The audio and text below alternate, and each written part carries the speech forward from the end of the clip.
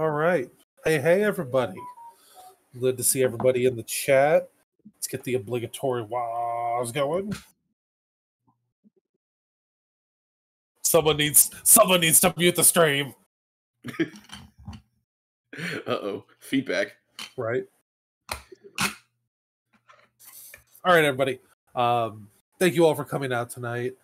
We just want to go over Lone Star, touch on our expectations, um, realize and actuate our expectations, see where we actually landed compared to what we were hoping to do. And Mhm. we do have a guest star on, Kel Pigg. He is the winner of Lone Star, uh, took it all, With- is. the brand new hot, the new hotness, Flesh Eater Courts. So I'm Joe from the Weird Cast, Austin Weird Knobs. Eli, I'm Eli. I'm Oh. Eli. Y'all know me from Weirdcasts, Weird Knobs, Internet Things, General Lizard Man About Town, and recent Rat Aficionado. Right. Kel, do you want to introduce yourselves? Yeah, uh, I'm I'm Kel. I'm from uh, Roll to Wound in South Houston, and I, I'm sure y'all have met me run, run around playing at tournaments. Right. So, You've likely seen him play as Ghosty Boys until now, right. and then he decided to go to a different death faction, as all death players tend to do. They played mean- similarly. I had to play them both. I mean, he picked a hell of a time to swap death factions. Um, he's like, oh, I'm going to go 5 0 Lone Star. Oh, hey, everything in Nighthaunt just got two inch reach. What am I going to do with that? I mean, I'm I'm excited to pick up some uh, Battlewerks uh, movement trays to use that that two inch knight to stack range. Right. Oh, I'm sure that'll help out a lot. Um, speaking of Battlewerks, uh, we do have some repeat visitors in chat tonight. Um, if you were there for Lone Star List Reviews Part 1 and 2, your name has been entered into a wheel. We love wheels on this channel to win a $50 Battlewerks gift card. Um, and we're going to get those out tonight. Now, there is going to be some stuff. Brian. So that'll Sorry, I'm be. just showing off my rats to Brian because he's uh he's giving me shit in the chat. Well, we have uh, audio issues. Audio issues.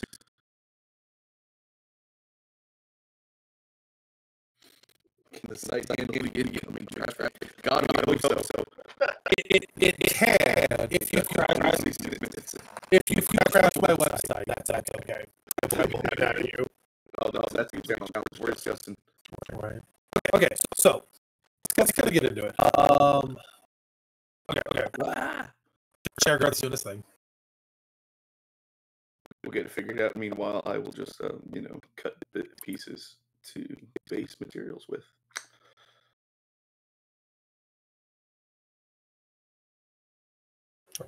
Are, are we getting a better from chat? Is chat giving the thumbs up? So Vince says it's better. That's one person. Is it better for other people? Right. They're just bets. I have shitty ears, so like you know, I can't tell. I can't tell anything for shit. I listen to too much loud music.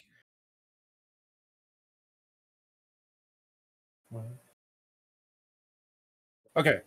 Hmm. So, um, Good now, hell yeah. uh, we run Discord is through OBS. Right. We run uh we run we run Discord through OBS and that's it's really funky sometimes. But so uh here we are. We're gonna recap Lone Star. So let's get into that tonight. Let's do Uh, it. Let's talk about our expectations going into this. So I'll start. My expectations were pretty low. I lost a bet. I got a randomly generated Gargant army that turned out to be pretty good. I was hoping that I was hoping to go 3 2 so I could meme on everyone that 3 2 is the baseline minimum any Gargant player could achieve. So and that's what, you do, Joe? well, spoilers, I didn't go 3 2 but that's that's where I was. That that's what I was hoping for. I was hoping for three-two and a little bit of fun. Uh, Eli, what did you? What was your expectations going into Lone Star? My expectations. I was going in. Um, to, I was going to four one minimum. That's what I Mhm. wanted. I Yeah. uh, I had been playing the new Seraphon tomes since it dropped, and I felt like for multiple GTs now I was right there at LVO. I was at the three one table playing for the four four one, um, and I've played so much destruction that's just like not a great matchup for me. That I was like, I'm ready to just hopefully not play destruction because it's like a quarter of the field. Spoiler alert, that didn't happen. and the plan was to go 4-1. I wanted to finally get the 4 win with this tome and um and get back in the 4 win column because I've had a year of just three twos. Yeah, uh, Kel, uh, you won the tournament, but did you think you were going to do it? What was uh, what was your mindset coming into the Lone Star? So I have been playing the new FEC since before the tome released. Uh, I think Brian joked that I've been playing. You know, the book's been out for a month, and I've been playing it for six. Uh, I've been prepping for this event for a while. I really wanted to go 5-0. Lone Star's a really big event with some really good players that show up every year, and I, I wanted to to show my show my chops at kind of a bigger event. Not that Slambo wasn't great. It's just I know how many people show up to Lone Star every year. It's Yeah. almost it's it's a big one. So I wanted to show that I could do well. So my goal was 5-0, and I didn't get there. No, no, what to way to set a what what way to set a realistic goal there, Cal. Coming fresh off his Slambo 5-0 champion win, I'm gonna he's gonna try to 5-0 the next event. right? I mean, if he can get a ticket and 5-0 smash, that would be pretty sick, the year of the Kel. right? I'm not gonna lie, I'm all about it. Oh, I am too. Like more deaths need five O's. Not Soul Blight, they need to stop nerfing that army, but you know, Nah, other nah, death keep, armies. keep nerfing it. Agreed. Right. All right. It's the so, one death army I don't like. so let's uh let's talk about how we got there and our expectations and how those panned out. So I ended up finishing two and three. So I am smoother brained and probably smaller brained than your average Gargant player. My uh my day one was really awesome. I got to play against Sinto for the seventh time. And I am now seven and zero against Sinto in our round one at GTs. And Look, nobody's gonna beat him eight times in a row, Joe. you know unfortunately we were joking because i'll be i'll be participating with the event coordination for um, smash he will not have defeated me through the entirety of third edition so i'm really worried that fourth edition our rules are going to reverse and i'm going to spend four four four years just getting my ass pounded no, what's gonna happen, Joe, is we're gonna need a ringer. right Round one. right save me from Sinto. and, and and I'm not I'm not gonna say there's magic in but there might be magic in the air. Mhm. Um, so game two was actually against Eli, and we had a na- uh, nail biter of a game. Dude, it was close. It was. Uh, I think we ended the game Not happy. 23 26. It was 23 to 26. I was oh, not wow. happy going into that game. No. Not because it's you, because it's your army. Right? I mean, I I had the best possible scenario to win it. Um, you know, it was what no risk, no reward. It was no reward without risk, and Yeah. you had Mega Gargants with the Cool Boys re- Regiment of Renown, Mm-hmm. and I was playing Starborn Seraphon. Yeah. So, um, Eli took first turn, had a really awful first turn, uh, had a really awful turn two, and then my man got his fucking Saiyan power boost and uh, just manhandled me turn three, four, and five. So lost that. That's, that's what I that's what I did to your Gargants. right? Um, I will say I I lived the dream. I power bombed a Bastiladon into a chokehold, into a roar. So that was pretty sick. It didn't help. It didn't help you didn't win priority at all. No, you don't I need won to, every priority. I think two of them were on tied rolls too. yeah.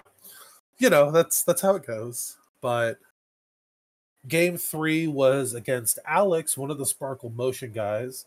Uh one of the Oklahoma City. Is it? I think it's Oklahoma It- City. It's kind of a mixed bag.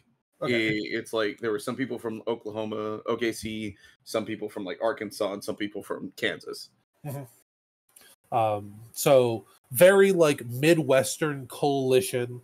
Uh, so played against him, and I won that game. I had no right to win that game.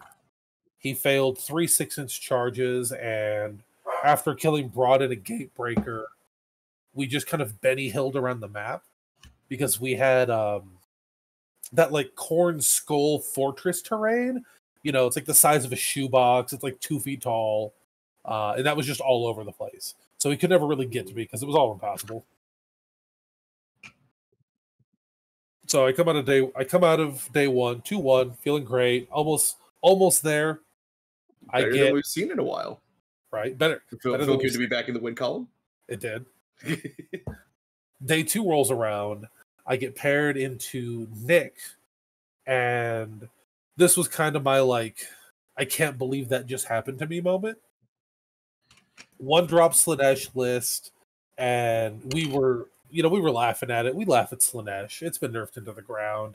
Just kind of paying for the sins of books of yore.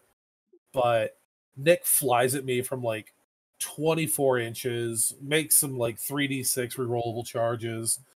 Siggy gets two combats. He immediately jumps to like 26 uh depravity off of um whatever the thing that like gives you depravity from the guy in. Temptation dice. No, no, not that, not that. Not that. The euphoric killers. There we go. Euphoric killers Oh, that.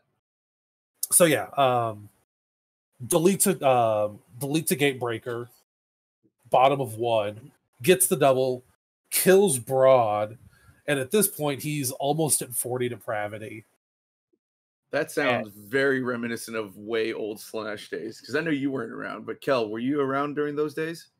Oh no, I'm I'm only Oh. this edition basically.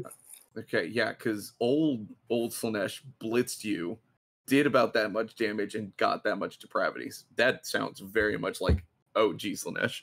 yeah I know you were salty. I could remember if Kel came like right at the end of second or joined third. yeah, this shit was bad though. it um it's really funny you know we we talk about like really bad games like i just sat there and rolled dice you know i didn't really have much control but that's the best part about losing to nick i didn't even have to roll dice um, like the minus the minus one armor save from the seekers plus the two rend from siggy i didn't have a save to begin with so like i just was like all right i'll use my fingers and i'll count to 35 There you go, new level. Um, how ki- how kind of Nick to let you still do that for you. Right? I mean, it was bad. I had to get the toes out there for a second. Broad's got 40 fucking wounds, and I ain't got that many fingers. um, You got But I lo- that on fingers and toes though. right? I lose priority to two, and Nick's like, that's it. Uh, it was so funny. He didn't even like, do you want to concede? My man was like, the game's over. Walk away.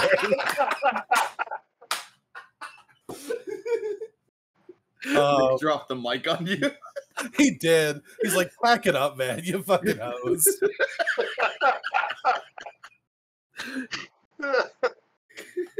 Uh, and I was like, you know what? I am indeed hosed. So I got to enjoy just a casual three and a half hour long lunch.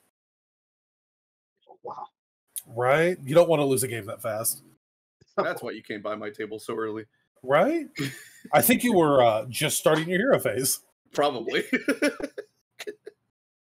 Yeah, but you Uh, can come by halfway through the game, and that's still true. Right? so game five rolls. It's against Dylan Cochran. Uh, he and I are both tired. We both want to get out of there. And we're like, run it down mid. And he's like, yeah, run it down mid.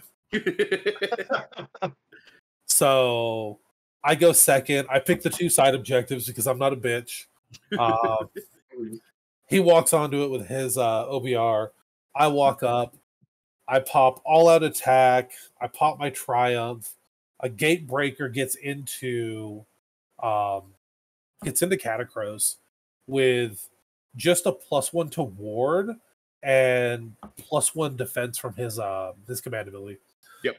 Um, I pray for Rend. I get it. So here goes a Gatebreaker, fully juiced into Katakros.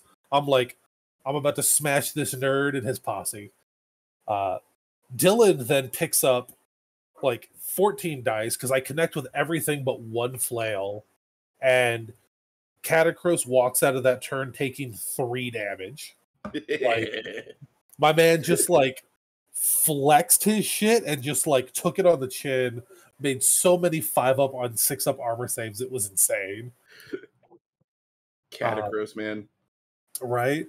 And then after that, you know, OBR does OBR things. He does like 60 damage from four more guys. The dude, I kid you not, Nadirite weapons goes. He swings with three Morghast and gets six Morghast worth of attacks through. That sounds about right. Yeah. I, I can't stress how much I hate this fucking army. but I would know. I have faced Dylan playing with that army for practice many times. right.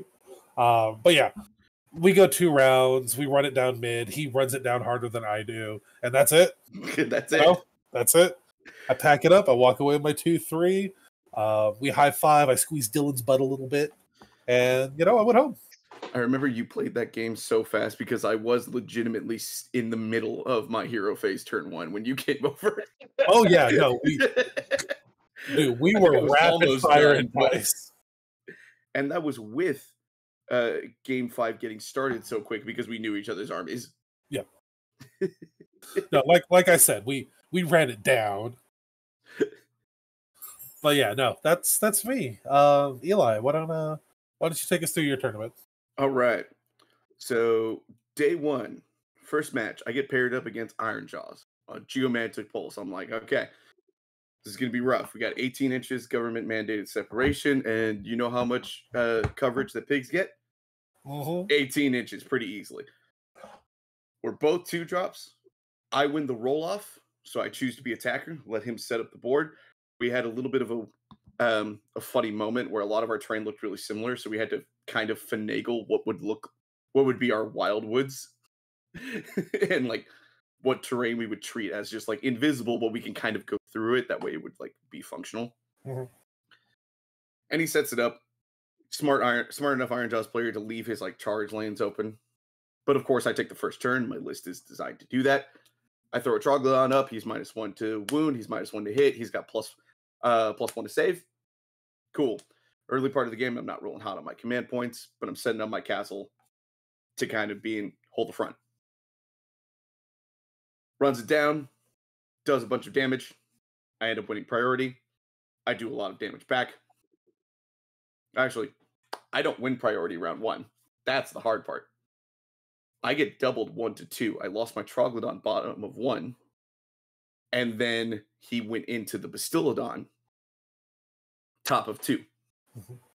The Bastiladon, however, takes six damage on the mortals from all the charged mortals between the Maw Crush and the pigs, and takes four damage the rest of the game while I wipe out the rest of his army. I double him two to three, and that was a wrap. Mhm. As it do. as it do.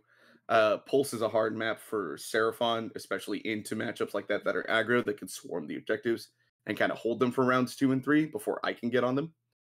But I can usually hit the endpoints, and I try to hit both endpoints so that no matter where the pulse goes, I can reach it. On to round two. It's against you. We talked about it a little bit. You took my Bastiladon absolutely manhandle the fuck out of that thing. I deploy with the Bastiladon right in the corner. I try to place it so that a Mega Gargant has to be within Blizzard range. Unfortunately, I deployed just a little too far back because you were able to put just within three inches, but just outside 12. So I lose it, but still Bastiladon immediately. Teleport Troglodon, like you said, shit goes bad. I still get my battle tactic though thanks to an arcane bolt killing a beast skewer killbow with one wound left. Not the last time that'll happen. No. Um, round two also still goes bad, and I have mega gargants in my face, but I managed to hold them off long enough to win priority into three, to do 12 damage via comet and deliverances to the gatebreaker, and blizzard broad for exact damage to kill him. And I'm like, okay, I'm in the game. I'm good. I'm holding off. We're still having a close game. You dropped an early tactic that kept it. That's what really kept it close. You bring a Man Crusher Gargant down. I get killed with magic again with an arcane bolt with one wound, and that kind of just seals it. Yep. I'm able to wall off and keep my grand strat because Slant go away. I can't deny yours because I can't kill a Mega Gargant that's going to run in charge every turn. Mhm. Game three, I play against a cool, cool guy named Ryan Givens, I believe his name is. He's fairly new. He's been playing about a year, I think he said. This was his first GT. And he's what I've affectionately been calling Randy's disciple. because the list he played, I'd seen it about 12 times because I played Randy a lot. It's the exact same list I've seen Randy play. And I'm like, cool. This is gonna suck because Kragnos. But I think I know I think I can do it. I, I think I can pull it off. One and two, turn one and two go really well for me. I kill four, I kill all four rocket uh all four of the tyrants, rocket tyrants. I kill the iron guts. His only threat is Kragnos. Kragnos charges my Troglodon, rolls boxcars on the mortal wounds, just oh. blasters it for 36 damage. Moves in, is close enough to Blizzard on bottom of three, but I roll a three on the dice, so plus two to five with only one primal. Not going to get the Blizzard off. From that point, sorry, I saw the chat said the Randys are replicating. I fucking hope not. Had a- don't need more of that list going around. We've had enough of that shit. and basically at this point we're having a, we're still having a close game because i'm able to spread out some tactics there's some skinks slap fighting some gnoblars in the corner it's very funny um and we're like only a couple points within each other but another priority win by ryan near the end basically makes him able to smash into my castle without me being able to do anything i pretty much lose the slant i need to keep priority through the last couple turns in order to win by like one or two points and he wins priority, smacks into me, takes my grand strat, wins by three. Or mm-hmm. sorry, wins by six. It's a very close game, but he manages to pull it out. So I'm 2-1 going to day four. I'm like, okay, cool. I'm gonna win. I'm gonna just win two games. This is gonna be it. Round four, I play against one of the Vex bottom lists. Not not Shelling's bullshit oh, with five of them. It was a more well-rounded list. It only had three Vexlers, had a Knight and Cancer, Lord and Puritan, bunch of Annihilators, and the Questor Soulsworn, mm. Soulsworn, what the six block of like big dudes. But he, well, he had played Seraphon earlier in the tournament and kind of dumpstered them. He did not understand, like nothing, not to insult him. He did not realize just how much like forward projection I could have on turn one. And I took out two of his Vexlers turn one and five of the Questor Soulsworn. He has a rough turn one and turn two. His turn one, he had taken three damage from Maelstrom, healed two back on the Knight-Incantor, and then miscast to do three damage back. Oh. so he's got one wound left, and I went priority to end up killing it. He doubles me two to three, and I made a mistake in that game. So round two, I kill the incantor, so I have no, so he has no unbinds. But I forget to cast my spell with the Troglodon, which makes me go uh, end my turn with seven cosmic power points. So when he charges in with the Bastiladon, bottom of two, he kills the Bastiladon between mortals and hammers, annihilators with hammers doing their thing, and leaves a hole open to get to Kroak. Because I didn't get to summon skinks there because I was stupid. Um, Eli, not to interrupt. Uh, Yeah. Can we get Battlewerks uh, link info in the chat? Tickets are going live in five minutes, and we are about half sold out now. So make sure to get on those guys. Okay. Anyway, continue, Eli. back to back to that. So I'm getting double turned. I got a hole in my in my castle. Um, what happens is he ends up moving some annihilators forward to try to get a better charge, and I redeploy with Kroak five inches behind the Saurus Guard to protect him, which is great for me because he chose reprisal as his grand as his uh as his battle tactic that turn because I killed his general with Krog. And I redeploy a skink Starseer forward. So he ends up charging the Starseer. The Starseer bravely gets punked by annihilators before I then table all his annihilators, win priority to finish off his army. On every step is forward. Round five, I get I am I'm nervous for my parent going to round five because I'm sandwiched in between Randy and I didn't want to face ogres again. and Oh, our friend contributor to the stream, Matt Robish, playing his 20 Blood Knight Kastelai list. Mhm. And I get paired into Matt on Power Flux. Where I'm a two drop list. Matt is like four drops. We've both played this game. We played this game before with these lists. There's a couple changes. He got an extra Vamp Lord. I switched out a hero for another for a Bastiladon. But we know we set up, we get going. Turn one, I kill I kill two Blood Knights. Fail my battle tactic because I didn't kill the, the Vampire Lord on foot because Matt managed to unbind the Maelstrom and another either Comet's Call or Deliverance. I do like five damage to the Vengorian Lord though. Couple damage to Vhordrai. Kill Fellbat. Dogs stay underground. Got a Bastiladon on the side objective because man activates the sides. Bastiladon's in the side. Troglodon's up here.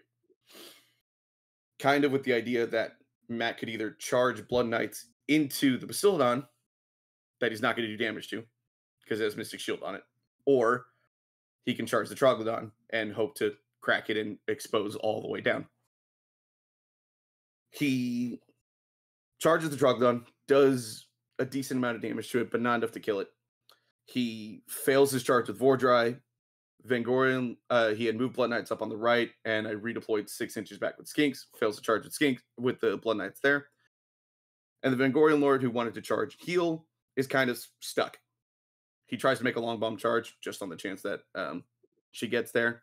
Doesn't get there. Not a problem. Kind of not a priority for him at that moment. I went priority to two. And I have a hero face so hot. Vengorian, by the way, is down to three damage now because he healed two damage across two heroic interventions. I kill the foot vampire lord to get my battle tactic. I kill eight out of the ten dogs that he summoned bottom of one. I kill 15 of the 18 leftover blood knights, 15 or 16 of them. Again, the Vengorian Lord and another bat. Matt is left with Vhordrai, two blood knights. At the end of the turn, Matt is left with Vhordrai, two blood knights, and three dogs. And a Fellbat. That's- Bottom of two, Vhordrai charges the Troglodon, puts him to 12 damage, doesn't kill him, retreats the dogs, rallies two Blood Knights back, though. That was pretty good. Um, but those four Blood Knights kill nine out of the 10 skinks that are on the objective. And I have and I had a command point to inspiring presence. So I have pinned his only two hammers when he wins priority into three, and he gets a battle tactic and just concedes. Dang. It was wild. I had a few hero phases that hot, but it was it was pretty wild. Matt is a good player, and I have to be on my A game, even uh, even with any kind of list that he's bringing, just to just to not get punished. Yeah, absolutely. and so I hit my four one, and I was really excited to win best order because I didn't win it last year. I was in the running for it, but um, but I lost to Steven De La Garza. He was running deep kit and got it over me. Uh, so it was really cool to to walk away with like my first piece of hardware. Maybe next time I'll get the five zero. Wait, your first piece of hardware? Like that's that's I've never won a trophy oh my! of any I didn't know that. I assumed. I just assumed you had. The only other one that I would say was like a piece of hardware is I won one of those like plastic medallions at Adepticon two years ago for best Seraphon, but I was like 60th place. and the only reason I won best Seraphon is because Sam Gould won an actual award and he was running Seraphon. so Yeah. I didn't really feel like I earned that. This one I feel like I earned, which is really cool. That is cool. That is cool. And you you did well. Like what'd you end up? Was your fifth, sixth? Fifth place overall, Yeah, there right behind Randy. It was uh, my highest placing I've ever done. really good. I'm so really, happy to see y'all out there. It was nice. Hopefully next time on a top table, maybe against you. You want to run us through your tournament since I'm taking over host duties now because Joe uh, absconded apparently. Yeah. Um, so my round one was against Alec Anders. Anybody's met him? He's a great kid. He's uh, just just fun guy to be around. At we were at the uh, last Dallas uh, Lone Star, not the Lone Star Open. I think it's what it's called. Uh, the one Uh, in July. Yeah, the one in July. Yeah, the Frontline Gaming event. Uh, The, the the Lone shares. Star Open Outlaw GT, whatever whatever we want to call it. Yeah, so I played. I had met him originally there, and he was wearing a Willy Wonka outfit, and so I was I was helping judge or To during during that, and he was hilarious. He was great last year. That's awesome. Um, but I got him first round this year, and that game involved me building my little Feck castle wall that I do of basically ghouls on the outer line, knights on the inner, and, and heroes even further in. I moved up the board, took the took the middle hold area, um, and basically passed turn. You know, so I started generating no bleed points at pass turn. Uh, he went uh, charged his Boingrot Bounders into my Royal Beast Flayers, which had a bunch of defenses on them. mm-hmm. Uh, they lost a few guys, which is not a big deal for Royal Beast flayers if you know what they do. They're they're designed to lose wounds and then gain all of them back. Yeah. Uh, so they, I, get I- actually, they get buffs for killing monsters too, right? they don't get buffs. They're just good against month. They just uh, Oh, okay. reduce the damage monsters do, and they stop their her- their monsters' actions. So very strong against monsters. Um, but he he dealt some damage to him. uh, and kind of moved his each moved up. He had three pairs of Boingrots. He moved one into the Beast flayers, and he moved one on either side of the map because as it was um, It was pulse. pulse. Yeah, so he was preparing for the pulse to come out on either side. Uh, I won the priority, and I went. The beast flayers basically gained back to full health because you pull the models that are two, three wounds first, and then when you bring them back uh, with my, I have two Archregents in my list, so they bring back three serfs at a time, so I can bring back uh, three, six. Right, because you Yeah. because your recursion doesn't care about wound total; it cares about keyword. it cares about keyword. Yeah, it just says Yeah. bring back three serfs, and the the beast flayers are bring can bring back up to seven wounds out of three serfs, kind of thing. So brought them back. They were they were durable, uh, but then that turn was basically already the end of the game because the beast flayers moved out of combat. Uh, I had a, hor- a group of horrors charge the left flank uh, of Boingrots. I had a pair of horrors charge the right flank of Boingrots, and then I had my uh, Gore Warden and the the uh, Morbheg Knights drop in, get a D6 move for like five inches, and get a four inch charge on Skragrott, wipe him. Oh, that's gross. And the middle the middle group of Boingrots died to what would be my first of like a hundred blizzards during that tournament. So Kel, did you get a did you get your ticket yet? uh, I haven't, but uh, hopefully my roommate is getting it for me. Okay, cool. It says there are apparently less than te- ten tickets left, so you may you may, may want Hopefully, to hope, do a little texty text. All right, Yeah, Vince says uh, you got your yeah. ticket. okay, thank you guys. Okay, continue. Yeah, so so that was my game against Alec. I I, I want to say we could we could, we did continue. He wanted to keep playing, but the not to be mean, but there was nothing really of any substance that happened in that game after that point. He lost all his Boing Boingrots. He would bring them back through the shrine, and then they would just instantly die. He basically had Gobapalooza hiding behind the shrine in like a two inch buffer zone that I couldn't get really horrors into, just screaming uh, and flailing wildly, hoping that I didn't get back there. Um, round two was against his dad. Um, fucking taking the whole lineage out. Taking the whole family.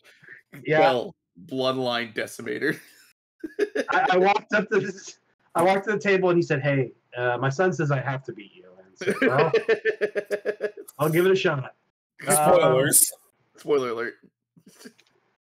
So he was running the list from Elvio, like the winning list from Elvio, um, which I had I hadn't paid attention to Elvio. Oh, the Everybody kept, list? yeah, the cities list, Okay. the cities list. I had no idea how the list played. I didn't know what to do. I didn't know what it was going to do.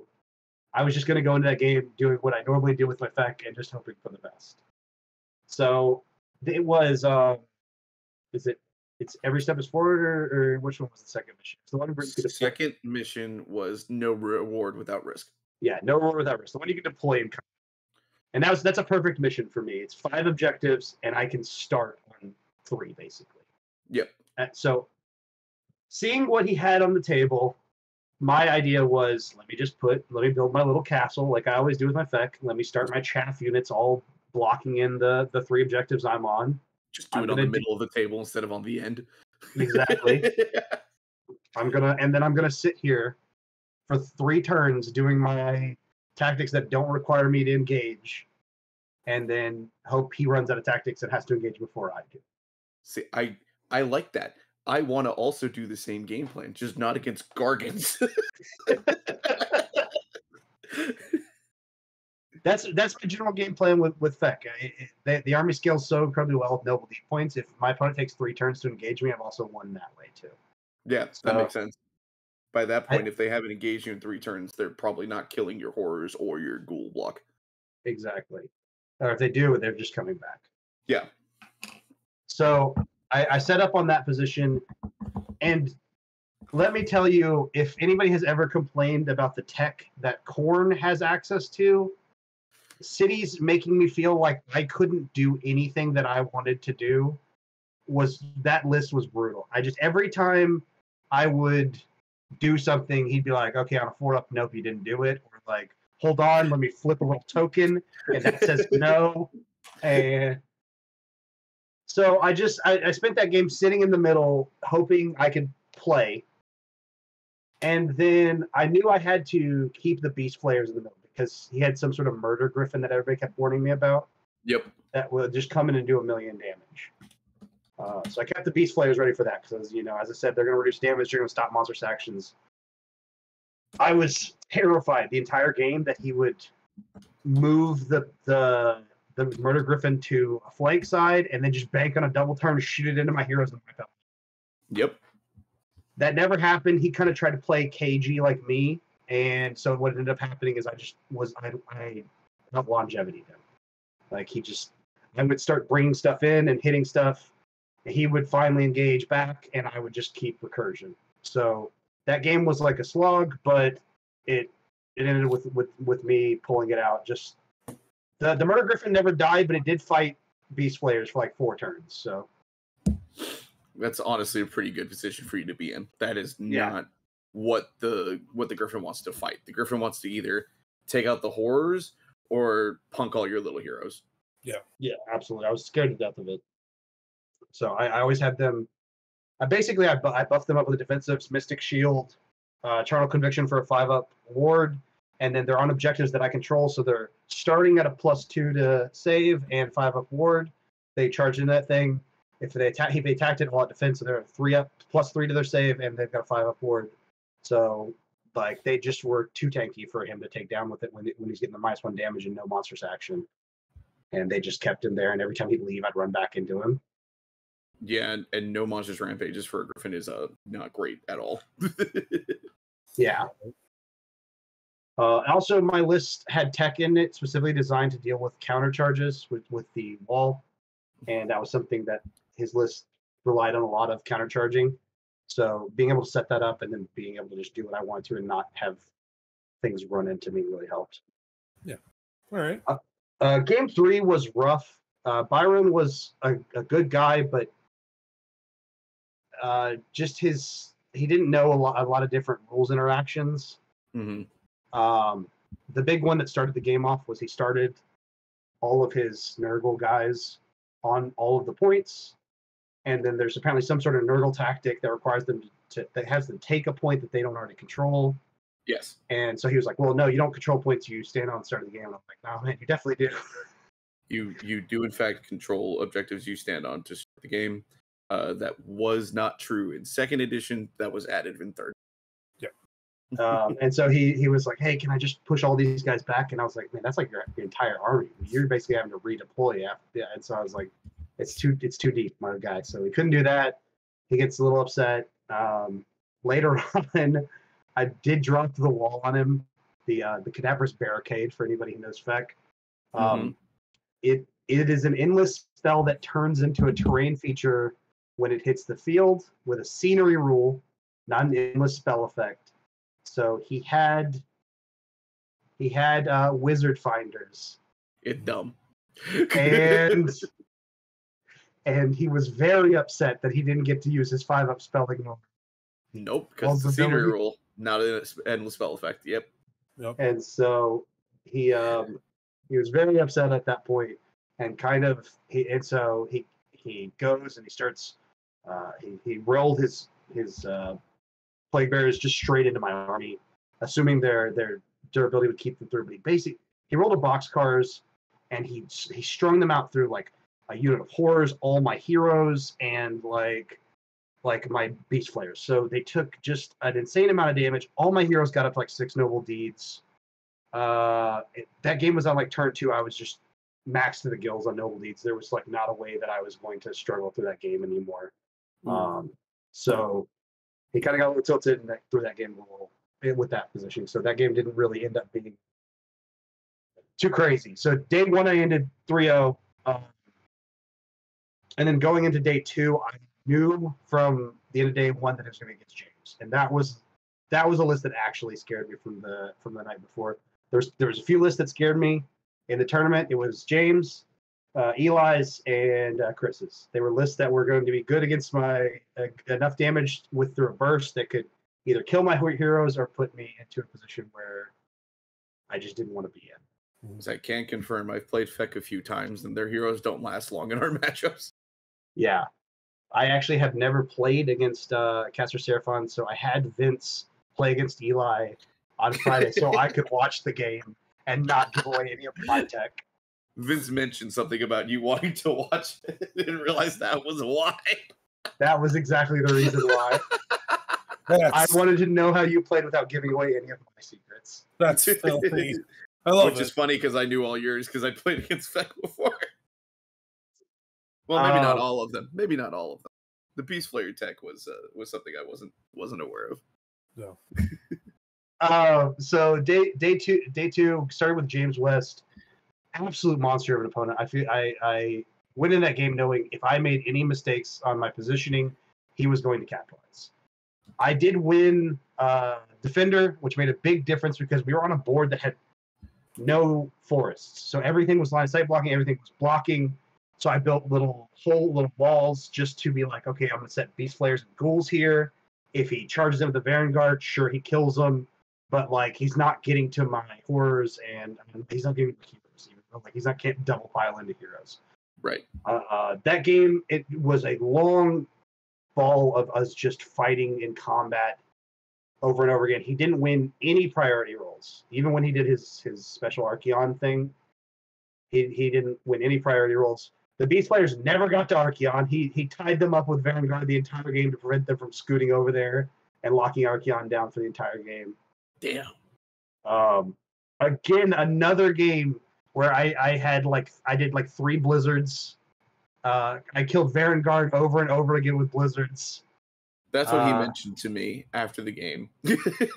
I, I think I cast 15 blizzards in that tournament. I it just that I Feck had a Feck has a huge problem with it can't deal with um, low armor saves. If you're if you're a two up, if you're a three up, it's really scary to, for the army to play against. Yeah. So right before list submission, I changed my grand my general command trait to the plus one to cast, plus two to cast if he's six noble beats. And I've Okay. never looked back on that because that gave a uh, access to Blizzard. to Just I'd, I'd roll a nine and then it'd be an eleven. And be like, okay, I'll just throw it. Boop, I got it. Yeah. So Trust me, I know Just- how it feels, man. Plus two to cast at least is a hell of a drug. It Right. really, it really is. Some of those games too, just standing, having him stand next to an arcane for the entire game, and I'm like, yeah. I got a 12 inch bubble of death around me, baby. Uh, Yep. so that game, exactly that game was was really tough. It, it really came down to a lot of missed rolls by James. He couldn't chew through a whole set of horrors. So they live at one health, and then suddenly they're back at three or four models. And then the other ones died, and then the next turn they came back because by the time we're really deep in engagement, I've had two or three turns of doing the heroic noble deed point. So the heroic action noble deed generator, and I'm just bringing back units when they die. Yep.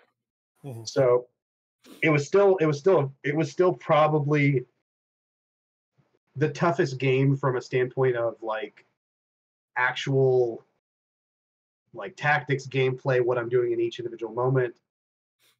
Even though my next opponent scared me more at any given time, and that was round five, and that was KO.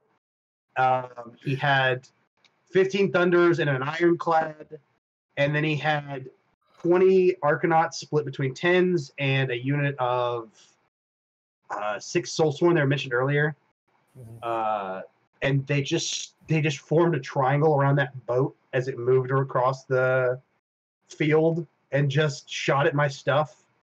And no matter how durable you think your army may be, there's nothing that can stand up to 15 Thunderers and an Ironclad. There's just nothing. It's just not possible. Oh, 15 Thunderers is still one of the scariest units in a game in the game right now. Easily. And it's it's one of those things where like no matter what tech I used or dropped or what I did prepared for, I was always just waiting for the shoe to drop and just a double like wipe half my army off the board. Uh, eventually, he did get the double, and it was too late in the game because I'd already taken off piecemeal uh, a bunch of a bunch of his units. The big the big sealer in that game is he dropped two tactics. On turn one, he went all in on trying to kill the beast flayers, which had Mystic Shield. They were standing on an objective they controlled, and they had a five board. He went all in on trying to kill them with the KO tactic. He left them with one Beast Flayer with one wound left, and failed that. KO tactic. Uh, they're they are they can be incredibly durable. He, he didn't get the Thunders out of the boat, so the only Rend he had on them was Rend actual Mhm. general. So, I think if he had had any more, he would have lost that unit, without a doubt.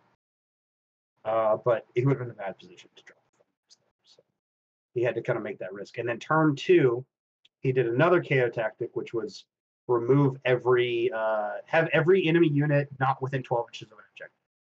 Right. And Yeah, blast At- everybody off. yeah, and then at the end of the turn, I just piled in some ghouls over into Mhm. it. He cleared everybody off, and then I noticed there was ghouls that were still alive that were in range, and I just piled in. And so I, I stopped that tactic too. So he he he had something like three or four points going into turn three for him. So it- he was on a big deficit. Um, so even if it even if anything had come by that point, I was already by turn three I was at twelve points, and he was at something like six or seven. So At that point, he's looking to hopefully table you and just hold objectives long to scrape a win. Exactly. And so, like with that game, I, I, I threw my Morbheg Knights just basically at the boat at one point because I was like, I've got a point lead. Let me just throw things at him to like slow down any like cha- like if he's gonna double me, I want him to have to deal with these bats first and then move to me rather than just shooting flying into the middle of my territory and blowing everything out that matters. Right. So that was how that game went. I, I took a, a strong lead, points lead early on, and he just couldn't catch back up. Eventually, the boat got blizzarded, as all things must be. The ironclad Every, fell everything the needs to feel the feel the cold embrace of an icy wind. Yes, and that was that was where it ended. Basically, once that boat got hit by blizzard, it, it I think it took like 20 wounds, right up there, 16 wounds, something like that, and just fell over. So it was that was it. Damn. And that that was the end of the tournament for me. I was just I was excited.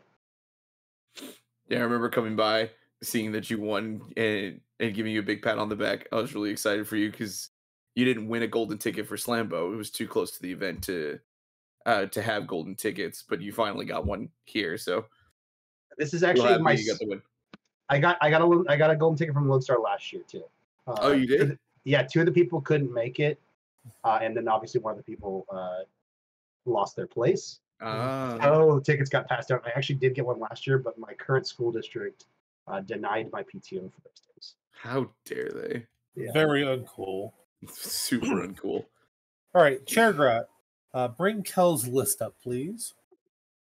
We'd like to go over this. Oh, wonderful. All right, so Feck, Hollowmourne. What does that do, Kel?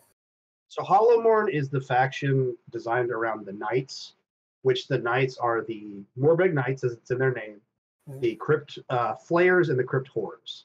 Those are the Okay. three Knight units. And if you take if you charge with any of those Knight units, then they get plus one to their damage, with the exception of mounts. Mounts do not get plus one to their damage even if they are Knight units. So Morbheg Knights, only the riders get plus one. Okay, so horrors and warbags, what we're going to focus on, and support for that. So, delusion, defenders of the realm. Which one's that? Uh, Defenders of the Realm is the plus one to save. I you actually choose your delusion at the start of the game, so I could change it up if I wanted to. But I wanted to put it on my list in case I ever forgot to tell somebody. And they did, they wanted to pull the oh you didn't you didn't say it so you don't get it. It was always on my list to know that's the one. And it's the plus one to save while while your units are contesting objectives that they control. Did you change that delusion at all through the game, or did it stay pretty consistent? I, I will say I have only used that delusion not only in this GT, but in every single other game of uh, Age of Sigmar I've played with my FEC up until this point. I've never Really? used another delusion. I mean, really? Yeah. Huh. Not even I- for like uh for the feeding frenzy? I, you know, if if if I would change it, there would be a few lists that would change for. It would basically be maybe against Kruleboyz, maybe against um, Seraphon, hmm but I don't think it would be the Feeding Frenzy. I think it'd be the plus ones to charge. That yeah, that makes sense in those matchups.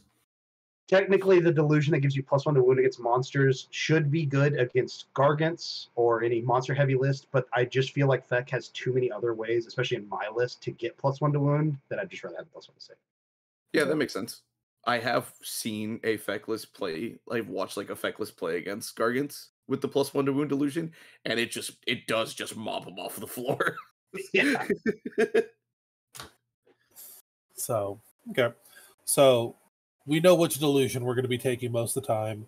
Uh, free plus one to save, typically when we're going to need it, is pretty good to have. Um, going through your leaders, we have double Archregent, and from my understanding, that double Archregent is kind of like where you start when you're building your hero package. yes Archregents right now are probably the most overpowered unit in They're if you so compare good. if you compare their point costs to them being a two cast wizard to the fact that they res either one knight or three serfs at the start of your hero phase the range of it being 18 and not being wholly within and the fact that their war scroll spell bonds really well with using like something like a cool warden or even just bringing units back to life i think they are dangerously undercosted it's the equivalent of the Starseers in Seraphon, and why you see a lot of um, meta Starborne lists taking two Starseers. That unit, they're they're units that are just extremely efficient at their point cost and just bring so much bang for buck. Um, so Feverish Scholar, what's that command trait do for us? so Feverish Scholar gives him plus one to cast unbind dispel you know the whole rigmarole Okay. Uh, but it, but then it gives plus two to that when he has six noble D points. Okay, that's pretty sick. So, deranged transformation, blizzard, Hoarfrost, deranged transformation. There's a reason why we're seeing these three spells across these two wizards, That spell is so good. right? It, it's also a little bit of a statement about how bad the other um, effect spells are. I would just rather have uh, deranged transformation locked up than put points into just the other garbage spells that Feck has access to. Yeah, because each of the lore is only three, right? Three three spells, three prayers. That's correct. Yeah, you don't have much options. So, the Gore Warden makes sense when we look deeper in the list. The Herald the Courtier and Gourmand. What are they doing? So the Herald is my priest. Uh, he, he specifically, you can only make uh, courtiers priest, and the Marrow Scroll Herald is a courtier. But his special, his claim to fame is that while he is within uh, six inches of five or more uh, Feck models, he is he line of sight can be drawn to it. So Okay. if he's within six inches of five or more Feck models, he's basically invisible. He can still be targeted by stuff, and obviously things like melee don't require visibility, which is a common sen- misconception I see with people all the time. They always ask me, "Oh, I can't hit him in melee," and I'm like, "No, you absolutely can." Okay. you Um, can hit people through a wall if the wall is thin enough. exactly. So he's an invisible priest. That's and that's why he's there. He's just good there. Eternal Conviction is a five up ward to the unit that he casts it on. It is an 18 inch wholly within range. Mhm. Uh, the Ghast Courtier is an 80 point tax so that I can run Wizard Finders. He is he is terrible. I used him to block um, just deep strike lanes the entire event. I he never died somehow. he is four wounds. he So he doesn't even- died. He never died. It wasn't worth people's time to look at him. I love it. I love it. Amazing. So I just put him in lanes to be like, please don't deep strike over there, or if you do, please kill him. Right. Uh, Uh, Gourmand is is basically my tech for if I was running into a list that I couldn't just do my castle up and sit on three objectives when I needed to reach out and touch somebody. Gourmand's got four different abilities. They're all triggered on a three up, and all, the range is infinite. He just has to be able to see. It's Okay. all line of sight based, and mine just sits in Yep. the tower the entire game, generating noble deed points and pointing at people and being like, "Put a debuff on them." Turns Uh, out tripling the height so you can get line of sight across the whole board is pretty good. Absolutely, absolutely, it's great. Um, he has got he's got four of them. One of them gives uh, gives an enemy unit plus one to be wounded. One of them gives an enemy unit plus one to be hit, but you have to have an abhorrent within three inches of that enemy unit. Right. One of them gives an enemy unit plus one to all damage it takes, but it has to have killed an abhorrent that game. Mhm. And then the last one is everything in your army, everything in the FEC army can run and charge as long as it ends a charge within half an inch of the unit. Okay. Uh, and that again, that was just tech for if I ran into a, a shoot heavy ranged army, maybe like uh, Daughters of Khaine, or if I played Eli. Yeah. Okay. You want to because you want to close the distance as fast as possible, put the pressure on. Exactly. Uh, Chairgrot, scroll down a little bit so we can see the rest of the sauce.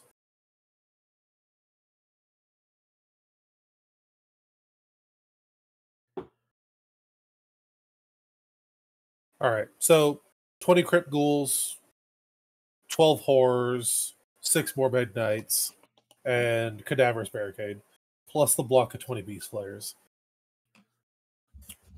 So Pretty good. we should know what most of this does. Um, I think most people are kind of surprised by the crypt horrors, mostly. So give They shouldn't quick. be. They shouldn't be The uh, horrors so- are the horrors are the bread and butter of this list.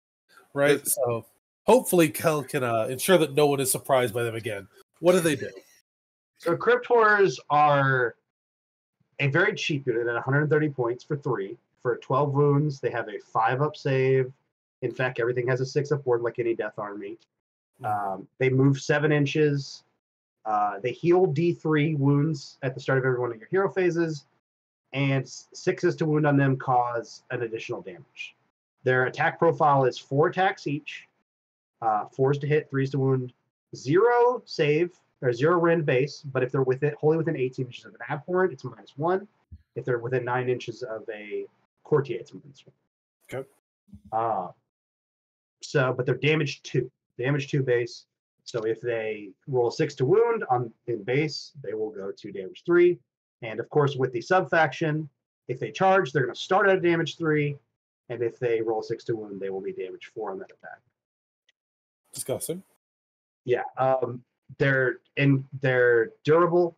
They're relatively fast because when you add in something like deranged transformation to give them plus two movement, or uh, gourmand to give them and charge, they can really reach out and touch somebody when they need to. Um, their their big weakness is modifiers, especially modifiers to hit. A four up, four ups to hit are great. They and, and there's lots of ways to give somebody a nice minus one hit, make somebody hit on fives, especially when they have four attacks per model can really break down the, the damage. And that's where that's where Hoarfrost and things like Damned really pick up this army. Uh, because that that is 90% of your damage, and like Hoarfrost is carrying horrors right now. Yeah. Yeah.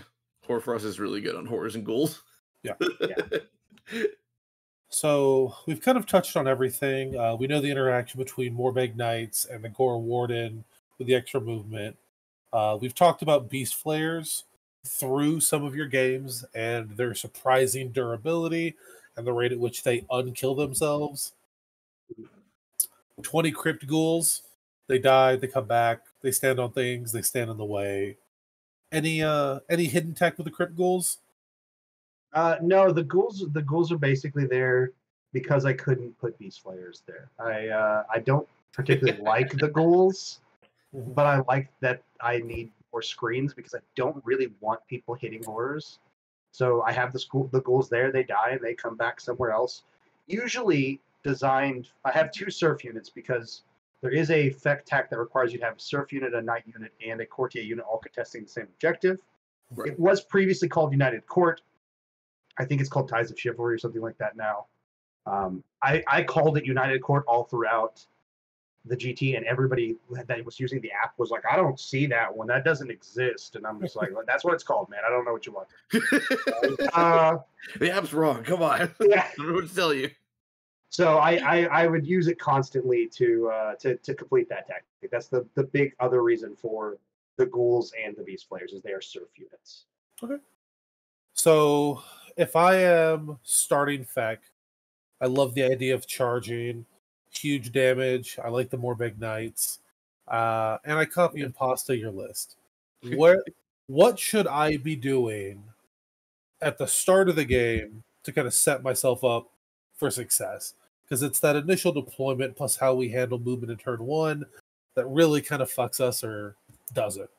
You know, what what's the game plan here? So turn zero for me always goes about the same way. I set up my uh, since I know I'm always going to put Gourmand in tower. Tower doesn't need to be that far up. It's usually kind of almost sitting, almost sitting on the, the edge of the edge of the board, just going to look at things for the rest of the game. Um, after that, I, I kind of build a wall of heroes behind it, usually measuring where to where you want to be 30 inches out from where the monsters could be, because you're usually going to go first with a list that has like 12 drops. So you're going to want to do magical dominance. Um, you, you back up your heroes. I usually have two a layer of the horrors in front of that, and then in front of them I have the uh, ghouls and beast flayers. Ghouls taking one flank, beast flayers taking the other. Kind of building a little castle around my army. It serves two purposes. One obviously being because I don't want people to just come and live inside of me, but the other is uh, the heroic action for. There's two heroic actions that are effect specific. Mhm. One of them is some sort of oration that you measure uh, all feck, all other feck units within 12 inches of a hero. You roll a dice for that hero equal to how many there are. Uh, that don't include them, and on five ups you get noble deed points. Okay. You, you're gonna do that. I think I didn't do that. Maybe four or five heroic actions out of this tournament. It wasn't. It's 90% of what you're doing. Okay. I mean, So the heroic action is so good and so functional to what your army does. It makes sense. Exactly, exactly. So uh, you're you're setting up so that you can start the game, get a boatload of dice, hopefully get two or three noble deeds on that hero that you want. Like for me, it was on my command on my general with the command trait that, that is at six. He gets plus two to cast. So if he got if he got four and then I cast his two spells, he's at six now. So when my opponent goes, he's now at plus two to unbind any of their spells plus any uh, wizard finder bonuses from uh, or uh, An- Antorian acolyte bonuses like extra primals and stuff like that. So Yeah. You're setting up. Uh, uh, Feck doesn't need to move fast, so you can you can move slow. We have multiple tactics that don't require engaging the opponent. Uh, one of them being Glorious Feast, which is uh, or something around that line, which is just have everybody in your army within 12 inches of somebody with uh, no uh, with six noble deed points. Yeah. Very easy to do. Um, you could that, that's easily it can be an easy turn two. That could be a possibly dangerous turn one unless you just have everybody crowd around the throne and you have the throne be the uh, heroic action, or you just do uh, magic dump into that and you don't have to engage. Let the opponent gate, engage, like let the opponent make their mistakes first. You're setting up defensively. You're taking your buffs like plus one to save by just sitting on points, and you're you're waiting for for them to get to make a mistake because you don't need to. Whew, excuse me. Let's see. Um, so you know, we kind of talked about the lack of rend on our big damage units. Um, your game four was against James, and your game five was against KO. Most of those armies are on three ups. Uh, if you're going after the Thunderers, you're going to have even more, even more negatives. What do you? How do you approach a armor heavy skew? What's your game plan to tackle that? So usually in Age of Sigmar, especially when I was playing Nighthaunt, when I went all in on something, I would I would try not to spread myself too thin. Mhm. But if I don't have access to Blizzard really cutting up some of that high save ability, then what I want to do is I actually want to engage in multiple fronts. If they if they because I want them to have to choose where their all out defense is going to go. Yeah. I mean it it doesn't matter if you're a three up save uh, going to a four up against damage four attacks. You know, like you're going to fail enough of those that you're going to lose the unit. Like Yeah. it's so you know, I, I, I would buff up a def- one of the flayers def- or horrors defensively. Hopefully, probably the one that's taking the going to take the more damage, and then just kind of spread myself a little thin in hopes that that one of the units is going to pop something out of the way, even if he defends the other one, and then set up to maybe blizzard on the next turn that I get available. Okay. So don't uh I I see a lot of people, myself included sometimes, you know, when I'm on the back foot, I will laser focus my army at a threat, hope for the double, try to laser focus at another threat, and you're like spread it out a little bit, drain their resources, damage four will do the rest. Resource denial is still very strong in this game. There's actually some tech you can do with the cadaverous barricade um, and charging a unit, and then a lot of times you don't want to pull in other units in the combat because you don't want them to come bop you for Yeah. free. But the cadaverous barricade has all movements that are done within within three inches of it from almost three, three inches. So there's been plenty of games where I will put the cadaverous barricade next to a unit that I want to get into combat, and then I will charge another unit and have my unit charge and pile in within three inches of that unit Mhm. because the max distance they could then pile in would be an inch and a half. Yeah. And for one inch models, they can't even attack back on that. Uh, it was something I used against the KO to make sure that I didn't lose into the maelstrom. All right. So, going over your list, we're bringing six heroes. They all seem relatively important. We have a ton of really powerful hard hitting units. What is some of the tech uh, that you're using to catch people off guard with this newer book? Uh, obviously, the cadaverous barricade is a, a very strong enough spell for its cost. Uh, Mhm. uh, it, however, 20 people- points. 20 points. 20. 20 points. But you have to get like um uh, something I didn't mention earlier with Gourmand. Gourmand's abilities only last on the turn he's using. He gives an enemy plus Yeah. one to be wounded, but it's only that turn. It's it's not until your next hero phase. And Cadaver's Barricade can basically be viewed the same way. Yeah. Yep. As as strong as it is as denying retreats and charges and like that, you're basically only using it the turn you summon it because as soon as it goes around to their turn, it's gone. It's a Yeah. five to cast. Nobody unless if you fail if they fail that they probably lost the game. Because that's how strong it can be if it stays around. And Yeah. it's not predatory either, right? They can move around it. They can avoid its range. Yes, yeah. To an they don't extent. have they don't they don't have to uh to to go through it or anything like that. It's it's it stays where it's at. It just has a pretty long range of 20 inches. Yeah. Uh, the the the tech in this list really comes from you know Morbheg Knights being able to drop in and move d6. Anything coming back towards from from the any of the board edges and moving d6 is a big big one. Um, the barricade, just the fact that um, the the wizard finders was something that I put in my list hoping to have a five up spell ignore. Mhm. But flayers or horrors with six attacks from feeding frenzy and wizard finders against something like him or Glottkin ended up being really valuable. Just even more damage on things that already do a million damage. Mhm. Um, but uh, uh, I did find myself a few times using the other Feck heroic action, which is uh, a three up. You can move d6 uh, inches, and you can move that as long as you end that move closer towards an enemy wounded hero, Okay. and that that can be used to remove you from combat. So I did use it to remove me from combat once, uh, but you do have to roll a three up, and then roll usually another at least minimum of three up. It's not a really good heroic action. It's just I didn't have anything else to do. Yeah. It's an option, and sometimes Yeah. that's all that's all you need. All right. Well, that's some pretty valuable insight into what we were talking earlier before we went live. Might be the first reported FEC 5.0. Might be. Yeah, I I, I have to look at the stats. I talked to Wilhammer Peter, and um, he said at least until up to up to the other day that, that he hadn't seen any other Fek Five O's. So So, probably so you might legitimately be the first uh undefeated FEC player at a GT. yeah, Which possibly. hell yeah. Right. That's awesome. right?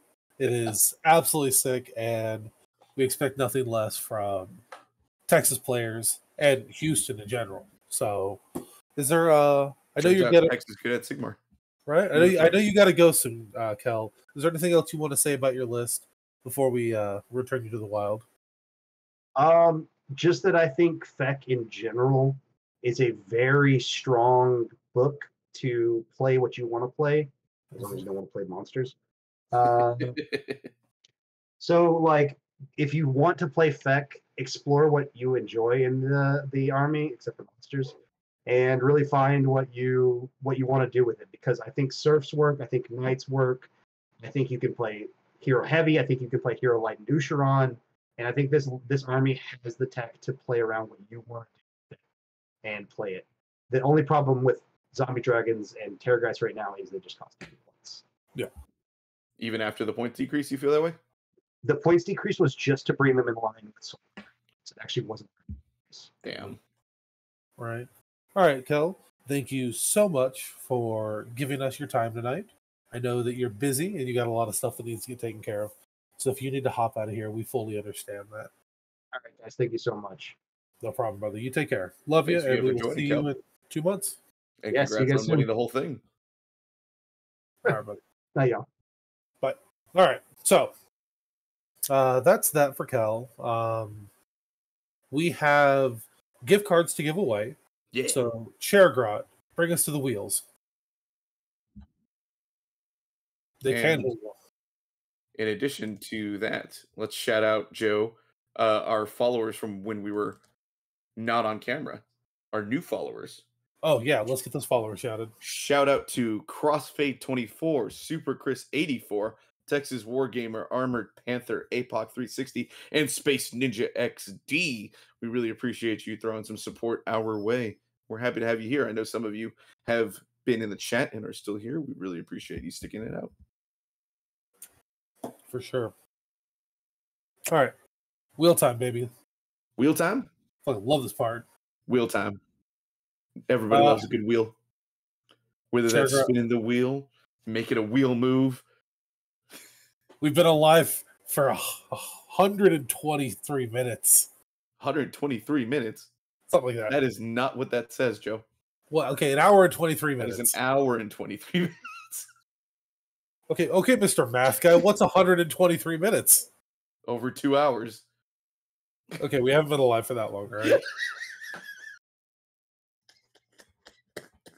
but it's whatever it is, it's plenty enough time for the chair grot to have actually done this. We've been live for 83 and a half minutes, Joe. All right, Wheel. all right, spin that shit. Spin the wheel. Why are we still waiting for this? I don't know, man. It's gonna be fun. We just are. We just are. I'd laugh if Cal got it. It would be really funny. It would be pretty funny. Classic Gargant player math. Hey, Ben R. Jammin, which is. I believe, our, our, our boy Ben from Houston.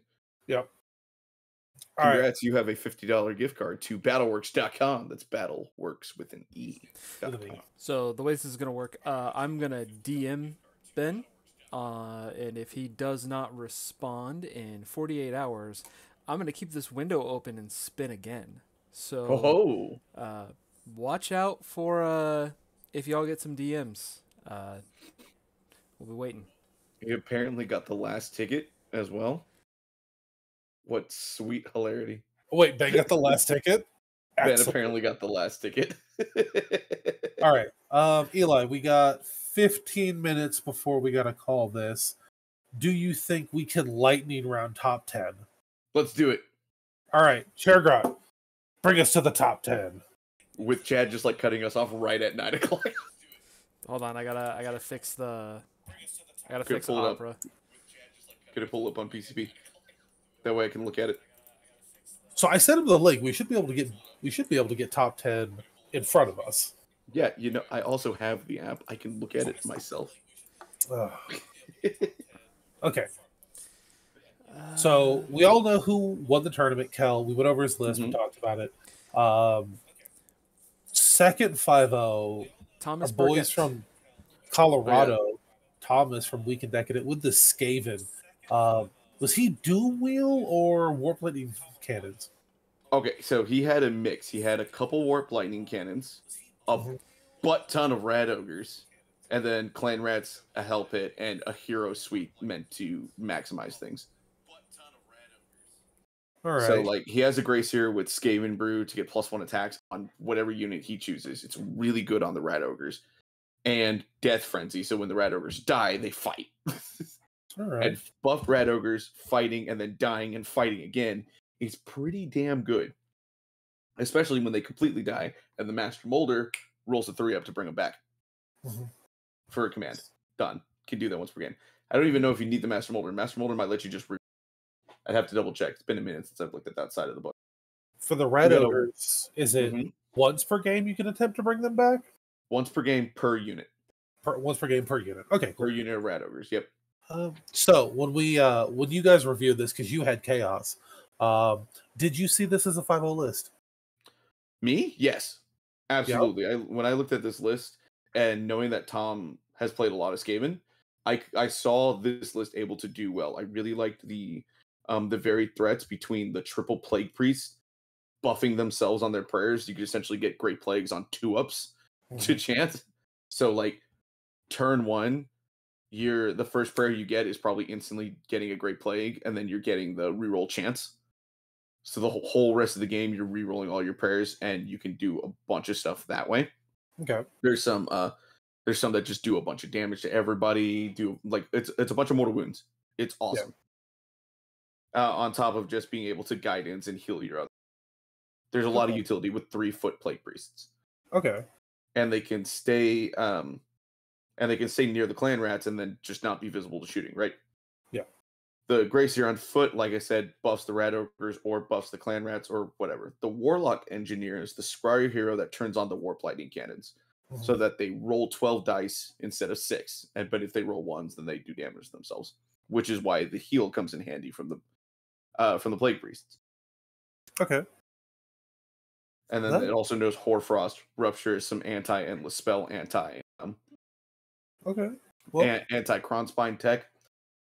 Because honestly, in this in this kind of list, none of the Skryre spells are really that useful. You could take Yeah. warp shield, but it's not really needed. It, more and more warp power is definitely not needed, and nobody takes chain lightning. I mean, you can still rupture an endless spell, right? Yes, you can. All those That's- damn pendulums.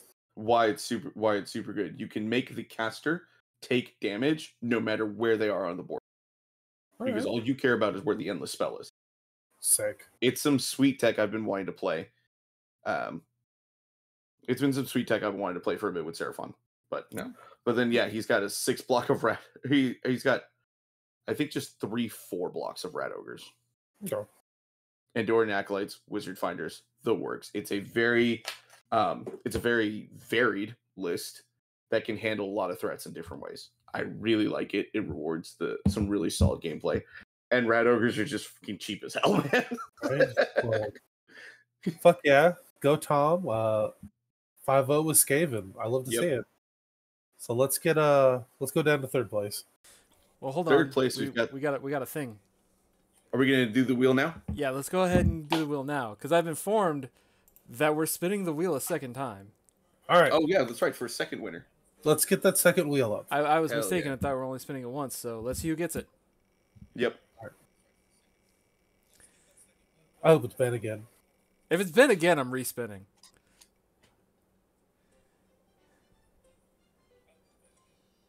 Danamo 25. Dynamo Hey! 25. Our boy Dan. Hell Dan. yeah. I think he was here earlier. He that's a uh, that is our boy Chris Schilling, who was our host for the Chaos and Destruction, our co-host for the Chaos and Destruction uh, Alright. list review. He's right Yeah. there in a chat. Uh, Yeah. Okay. do, do you want this? If not, we can spin again. We love spinning wheels on the show. Rewarded for playing Vex Bomb. Oh god. Ugh. All right. Let's let's not talk about him getting rewarded for Vex Bomb anymore. And uh, let's talk about third place, All right. which is Seraphon. Third Yeah. place is Fangs of Sotek in a slightly different direction than I went. It's got the core hero suite that you're used to talking about that much, except for the fact that the command trait is different because he's going with a full set of endless spells. Mhm. So he's doing arcane might, so the Slann can control all of the endless spells, and when he casts them, he doubles the range. And since he brought not just Maelstrom, but also Gravetide and Pendulum, which is probably my favorite spell suite of endless spells that I would still bring if I had the points for them in my list. He's able to just have a lot of varied threats everywhere. The Gravetide's great. Obviously, I've used it to cream zombies and uh, block OBR and other spots from getting where they go. Uh, Maelstrom is just Maelstrom. It's super good, and then Pendulum just cleaves. Yeah. He's got less board presence than I do, but in exchange for that board presence, he's brought again the spell suite and then Rippers. He brought three Ripperdactyls that go neum across the board between um between speed of Huanchi to make them move 12 inches in the hero phase, then another 12 inches, charge, uh, use the Blotto to get the extra attacks, Hoarfrost on them to make them like twos to hit. They're hitting you with a bucket of stuff. Yeah. And then one because he failed a six inch charge. Yeah, fail charge on like Ripperdactyls or something is gonna really hurt.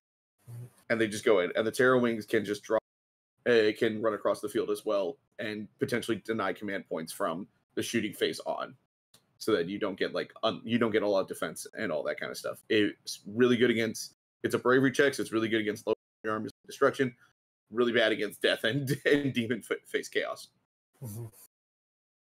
and then he's got the uh, a star priest Starseer pawn effects to just punk heroes. It's way more offensively oriented than my list was.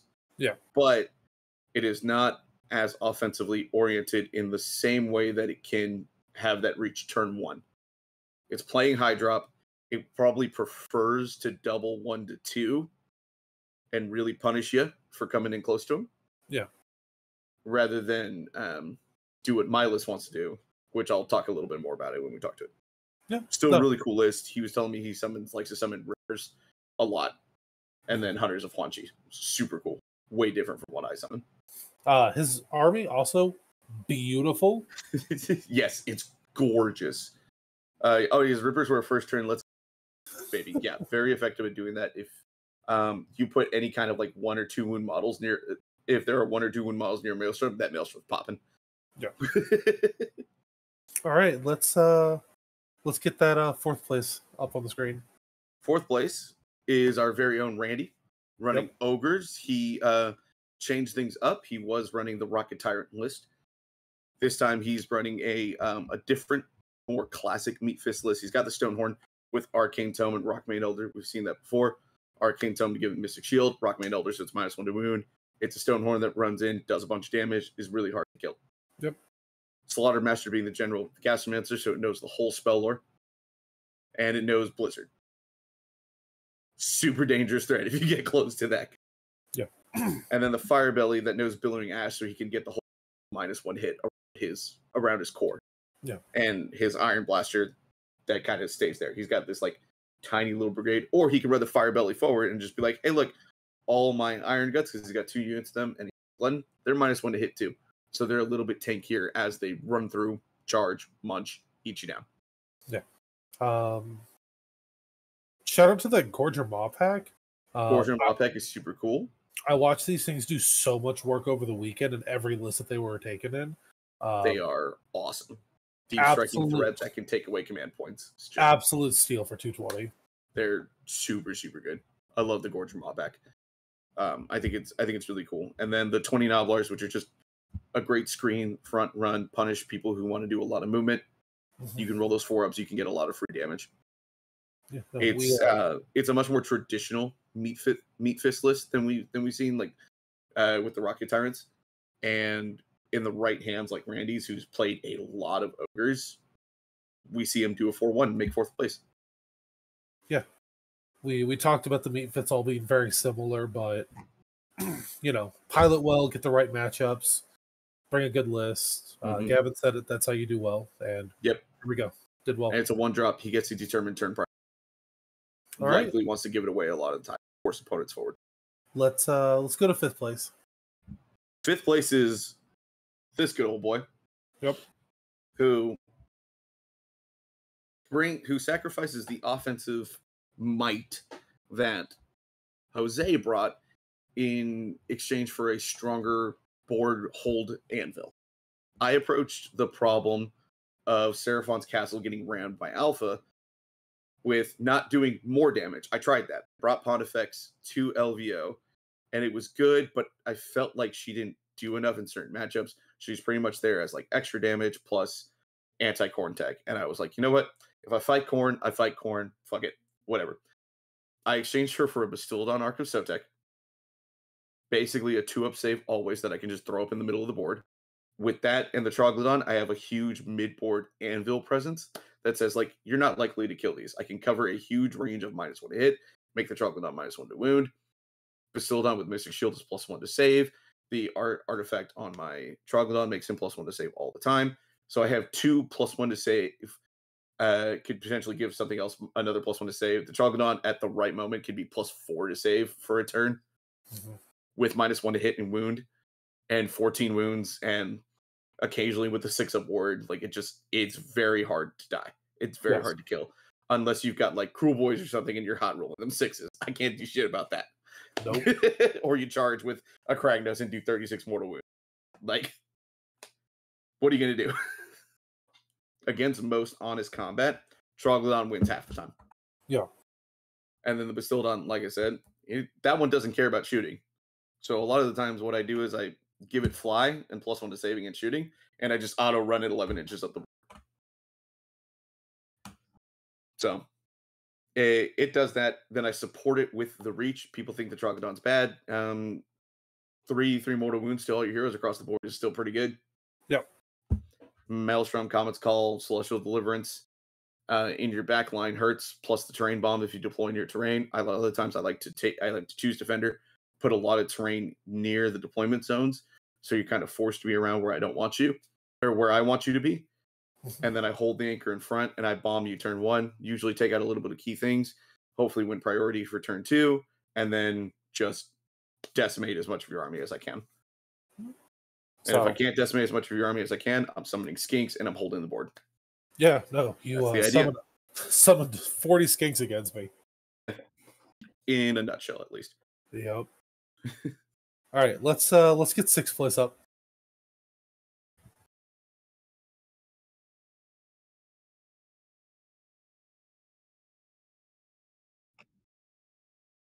All right, All right, let's go back to the wheel. back to the wheel. You thought we were done with the wheel. This has turned into unironically kind of our shtick. I don't get it. Where's Dylan? I gotta we gotta put his ass on a wheel.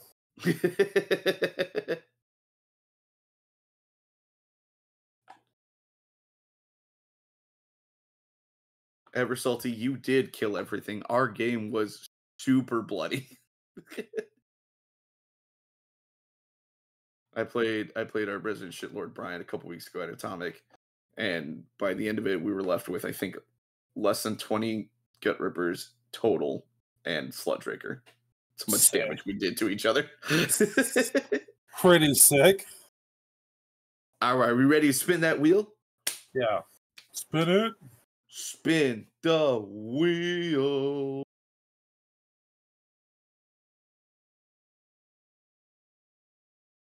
Yeah, look at it go. It's my favorite part.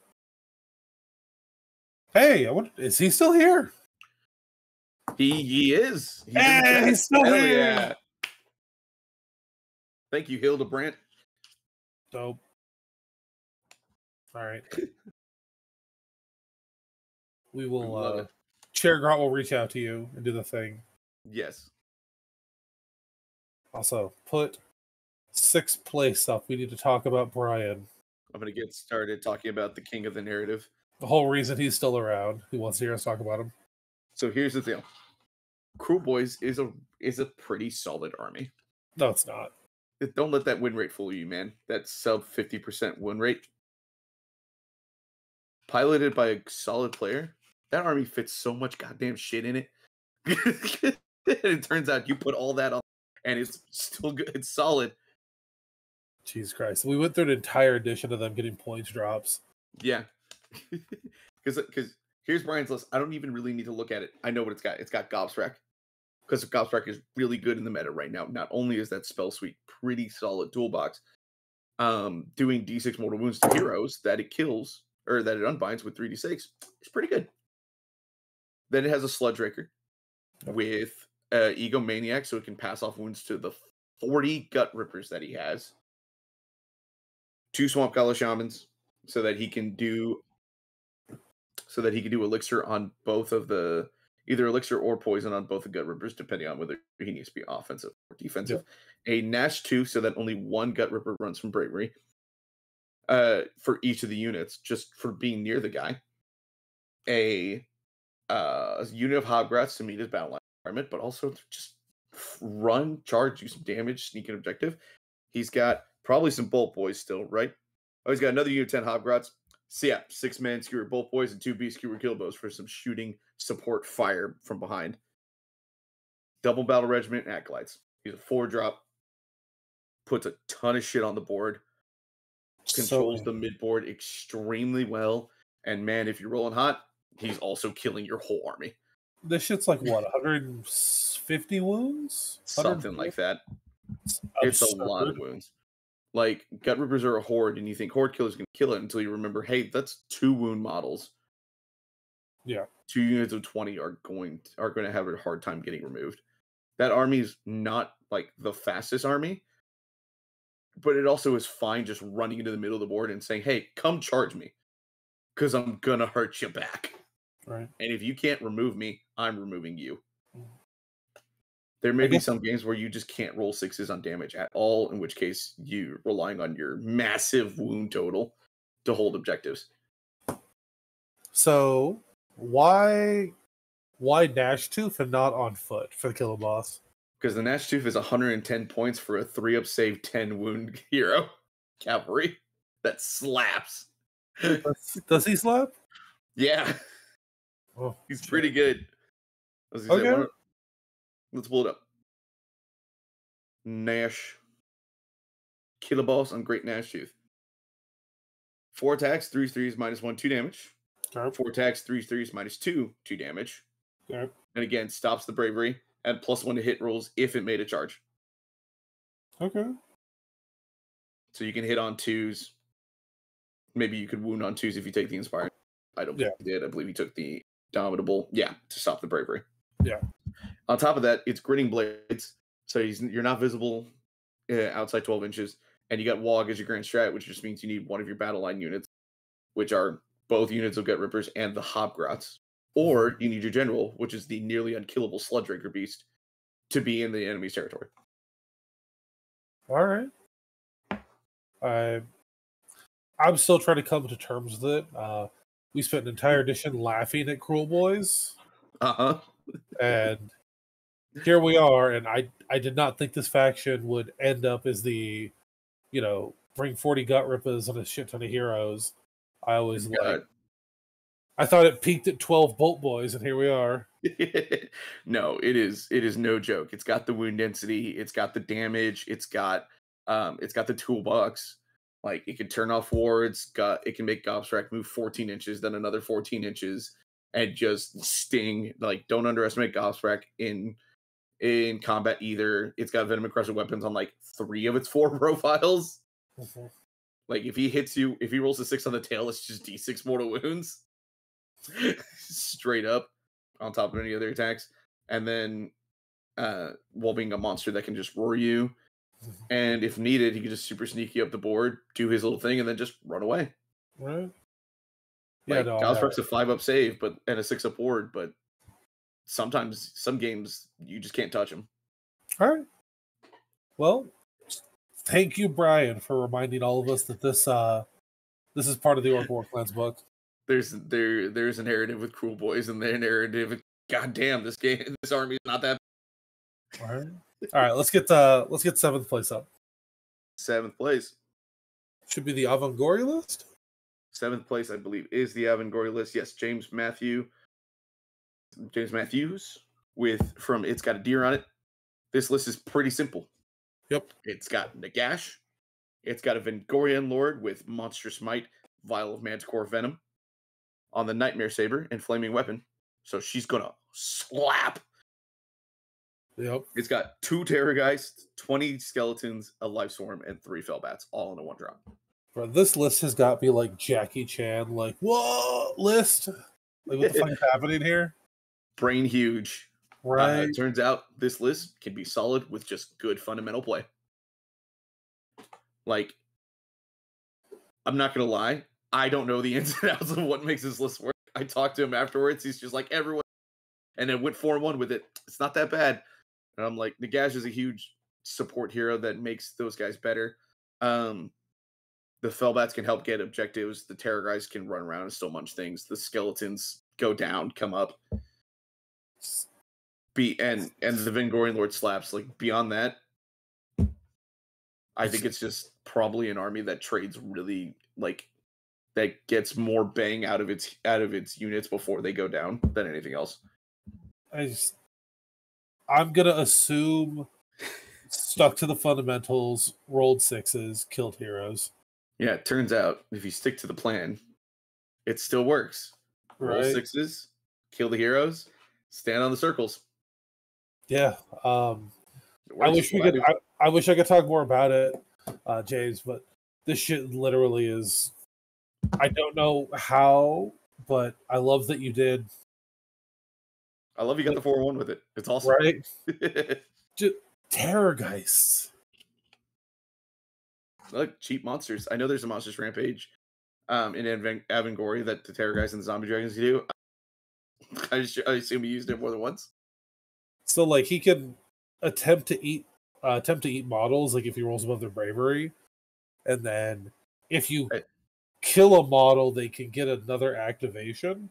Yeah, that hey, it- that's pretty good. But it, it, it really is super convoluted to pull off. Yeah. But nah, fuck it, man. Like, good on you, bro. This is this is out of the box. Yep, All right, super cool to see it go. let's get 4-1. uh let's get eighth place up. in eighth place, we have the very same KO Kel said he faced in uh, round five Yeah. from Kyle Emery. Now, Yeah. the setup, the article, footnote, and the code. I know these words. I Yep. do not remember what they mean, but I know they hurt me. Yep, fa- fascist Uh, rhetoric. Yes, exactly. Uh, without our ships, we're not. For the footnote, honors everything for the code, and trust to your guns for the amendment, or for the article, and then the amendment. Yep. What I do know is he's got a chemist, an admiral, and a navigator. To get some extra rend, do some extra stuff. The voice stone orb is, I believe, the um, the once per game auto unbind No, that they the, can have access to. no, the the void stone orb is the uh the null. The Wait, what? no, wait, no, yeah, no, you're right. The vo- uh the Yeah. void stone orb is the um scroll thing. I don't unbind. Yeah, I was thinking null stone orb. No, he doesn't have that. Yep. Um, The storm uh, that is on the chemist to get the the icon. Yep. So he has an auto unbind and then a fi- and then an unbind that he can just keep chaining if he gets it. Yep. And then uh the admiral's got Stormcaller, which I believe is what makes the Thunderer's battle line because he's not in the subfaction that makes the battle line because he's in Barak-Nar. So I believe that's a necessity to bring the um the 15 Thunderers and the 20 with along with the 20 Arcanauts. Mhm. And then he brings the Ironclad, the gun, the Grundstok gun hauler, the Ironclad party boat. This is a single party boat list. He puts the he puts the Thunderers, he puts the Ironclad, eh, he puts the Thunderers in the Ironclad, he puts the uh the three heroes in the Ironclad, and he says this guy's gonna just and then and then win that way. The Uh, Arcanauts are gonna stick nearby or hold objectives, and then the saucy tech in the list, the Questor Soulsworn. I Yeah. like them. They're pretty much an independent unit. You know, you've played with them. They got the ability to teleport once per turn. They just do a bunch of attacks. They hold objectives well. It's So I uh I talked to them a little bit about it, and it's an interesting pick in this because it is a decent screen, six dudes on forties, Mhm. uh, that can teleport in front of the ironclad to act as a screen anywhere the ironclad chooses to go once per game. It makes sense. Um, and talking with Kel, he used the uh, the Arcanauts plus the Soulsworn to create a little bunker from which he dispensed many dice shots. that makes sense. Say Yeah. like, hey, you can try to come to the to the Ironclad, but this is going to be in the way. I'm going to unleash hell on you, and I don't have to worry about actually engaging in. No, That makes sense. so I mean, he almost took a 5-0, um, lost to the guy that won the tournament. So we said it in list review. Very yeah, very powerful list. Did Mhm. what it wanted to and got close to a 5-0. So KO is pretty one dimensional, but it's really good in its in its dimension. yeah, because if we check the score, he didn't lose against Kel by a lot. No, I think it was a pretty pretty close game. Uh, yeah, he got 16 points. Kel got 25. Nine that- points. I mean, that's three rounds of solid play. So It's nine points on on a map like Power Flux, which can scale in the late game. Yeah. So, but yeah, Jim, good shit to you. Um, Yeah. Other people hate to see it, but I didn't have to play against it, so I love to see it. yeah, Vince is saying that he faced it round three and pretty much got tabled. Yeah. Pretty early, which is yeah, not easy to do so blade. All right, we got Marco with the Bloodtoofs. All right, Marco's our uh, very own from our uh, from our own club, Marco Hernandez, who is a uh, orc and Git main. He you either see him playing Ironjawz or you see him playing Gits. There's he doesn't play anything else. I don't. I think he has some Kruleboyz now because obviously they're orcs. Running a pretty classic Bloodtoof list. He's got the Maw-krusha, with the Gorhaka Choppa, Destroyer, Fasten combo we've seen for three years now. Yep. Got a Weirdnob Shaman with Shaman of the Chilled Lands as his general. That's the different part that we're not used to seeing. Not that uncommon in the in the current book because you know access to Blizzard is really good. Um, lets him have spellcasting Savant as an option for his Grand Strat, which you still don't take like Marco didn't because Wog is just better. Yep. but while uh, he could, with the great green, great big green hand of Gork, last second teleport his Weirdnob Shaman into the opponent's territory to get to get his grand strategy. Yep. Some tech that I actually really like. Um, in addition to you know teleporting six pigs twelve inches away, might have destroying them forward uh, nine inches and making three inch charges, pretty good. Yep. He also took a second spell enhancement, which is interesting, so that he could have. Um, oh no, he didn't. Never mind. I was misreading the list. Then he's got two war chanters. What you start every Ironjawz list with: fix and beat, get him beat. You never take anything else. Plus one damage on two units of pigs is pretty good, or six pigs and a Maw-krusha. Then he's got three pigs, three pigs, three pigs, six pigs, and ten brutes. Ten brutes slap. They hurt really hard, and they're a slow screen to like move forward and then capture something. The pigs are the bread and butter of running around doing the damage. He's got Endorian acolytes.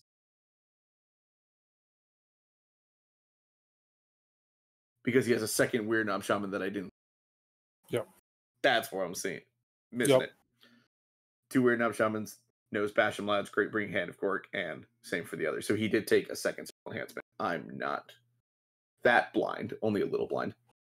So yeah, Maw-krusha, two War Chanters, two Shamans, up to 15 pigs, and 10 birds. High drop, Ironjawz Fist twice with all the pigs and the brutes, and a Warlord and Andorian Acolytes. No, I mean, I mean, Marco plays this list all the time. He knows what he likes. He knows what does well, and he's like, "Fuck it, I've played this shift three years straight, and people still lose to it." It pretty much it's a similar concept that I've seen him running for years. It's just tailored to work in the GHB. Yeah. Two Weirdnob shamans with with Andorian acolytes is better than people want to give it credit for. It's uh for a while now playing this GHB better than what I was even giving it credit for. It wasn't until like recently that I looked. I was like, you know what, Weirdnob shamans are pretty good. It wasn't until I saw them get played in Big Wog that I was like, you know what, that's not that bad. And seeing two here, I'm like, yeah, I can understand and respect it. Well, um, of course, I caught it during list review. right. Let's uh, let's get tenth place up here. We'll go over that, and then we'll call it there. Yep. 10th place is our very own Nick Swope. I know he's in the chat with this God Seekers list. Man, fuck this list. Now here's the here's the, the beautiful thing is I read the primer about this list that he posted in the Slambo Discord. And it was beautiful. And um, I'm gonna butcher it because I forgot like half of it already. God Seekers basically says your army goes zoom. I think it's his keeper can move something like his keeper or Sigvald can move something like 40 inches in like one turn. And you're it's basically inescapable. Agreed. every everything is a hammer at least all the every every big hero is a hammer the demonettes are good screens but they're also fast they help balance the mortal demon count from celeste. And i know nick's going to be in the chat telling me some things uh telling me some things that i'm going to totally forget in butcher. He's got the bliss barb seekers helping the extra minus one to save is really good. He's got the slick blade seekers which i honestly for the life of me can't remember what they do. The Chaos War Shrine Slaanesh Mark is really good for helping Sigvald get extra charge and provide a ward for itself. The Fane um, exists as a terrain piece. I mean, I played against this. Um, he gives Siggy and the Keeper a 3d6 charge between one of the spells of the Chaos War Shrine. Um, they have rerolls to charge because of Mhm. God Seekers, yep. and I think the Keeper can get run in charge. Um, I believe it can. Uh, Nick coming in being like the secret, the slick blades hit very fast and very with high rend, so they're just super good in melee. Uh, he Melee has he has the reduce your armor by one sex horses Mhm, and melee sex horses, mhm. and he's gonna f- and then the rest is a thousand points of stand on circles and support. Yep. Uh, it is uh it is the truest expression of chaotic orcs uh it will it will find you it will hunt you down and in a lot of cases it'll kill you it's like Yeah. all denying wards with all of its attacks um it's not it doesn't have a high cap on its uh on its number of attacks so 3d6 means you can max out at 18 attacks if you just roll super hot on the charge Sigvald caps at twelve. does he cap at 12 i thought he didn't have a high i thought he had a low i thought he was minimum five He caps at twelve. He caps at 12. Uh, either way, 12 attacks from Sigvald is still scary. Uh, no, he caps at 18. I was right, Joe. no. Um, but yeah, uh, the keeper giving him the double tap. So plus you pick him as your uh, euphoric killer. So he Mhm. gets the depravity. It's really dumb. It's really Yeah. beautiful. Um, and people that have not played against this are not going to respect it. This guy, It's the And- kind of list. It's the kind of list that rewards someone who knows the army really well and who knows the really well. Um, but yeah, no, it's it's going to come from across across the map. Another zip code. It's going to hit you with an RKO and maybe hit you with a double turn. Nick wants you to know that he just rolled a 12 against you. He could have rolled the 18. Ah, shut up, Nick. I love you. But yeah, Yeah. it's like looking at it again after the event and re- after reading Nick's primer, this list is even cooler to me than I thought it was. I liked it before the tournament. I definitely am one of the people that I would say I like I didn't respect it as much. Um, but it's super cool.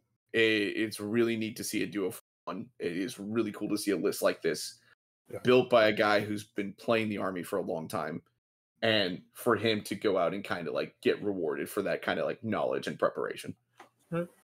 I mean, he uh he saw 60 bliss barbs and he was like, let's do something different. He said And 60 bliss barbs. Fuck it. I'm coming for your face. we, we we need more people that are like, nah, let's uh let's buck the meta. More I, I mean, like, I hear, heard, I heard of troglodons are bad. So, you know, troglodytes are bad. I hear troglodons are just trash, man. I mean, you can't cast all your damage through them anymore. Well, they're not even, man. Right. But there we go. Um there's top 10. Truthfully, about half of these I did not expect to be here at the end of the day. So play your uh play your list well. Roll sixes, kill heroes. Roll sixes, kill heroes, stand in the circles. If you want to get better at Warhammer, stick to those three things. Everything else will come your way. Right. You'll figure everything else out. All right. So everybody that's still here, thank you all so much for staying. Uh it's been about two hours, a little bit shorter than our normal shows, but Mm-hmm. A little bit longer than we expected. Yeah, Uh, but that's okay. please follow us on socials. Um, the Weird Cast Twitter. We have an Insta, which we are working on, and I typically post in everyone's Discords. So watch your shit. Mhm. At the Weird Cast. At the Weird Cast. find Weird Cast. It's got to be the Weird Cast with the DA Duh. in front. The If you Weird want to follow, if you want to follow me personally, I'm at 16er Ramos. Joe just uses the Weird Cast account, so Yep. take that for what you will. So All right. uh, we have our uh, YouTube coming up regularly. So we're at Yep. youtube.com slash the weirdcast just to steal your thunder, Joe. Yep. when are we when's that video coming live though? Thursday. Uh, all of our all of our all of our vods will go live on YouTube on Thursdays. So if you kind of like what we've been doing, if you want to see what the other lists were at this event, go check out the uh go check out the list reviews that should be up on YouTube. Yep. We did two of them, one for each half of the Grand Alliances, essentially. If you kind of want to see some gameplay from us, those videos are up as well. We have an old world video we did a few weeks back that's pretty fun. Yep. Uh, we'd appreciate if you go, give us a subscribe, like the videos, comments, tell us what you thought.